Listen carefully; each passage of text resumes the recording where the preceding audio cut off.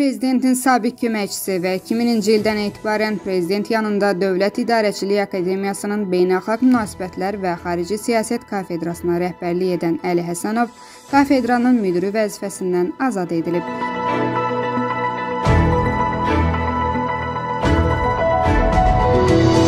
Eləcə də prezident administrasiyasının sabiq rəhbəri akademik Ramiz Mehdiyev prezident yanında Dövlət İdarəçiliyi Akademiyasında tutduğu vəzifədən Dövlət Qulluğu və Kadr Siyasəti kafedrasının müdiri postundan azad edilib.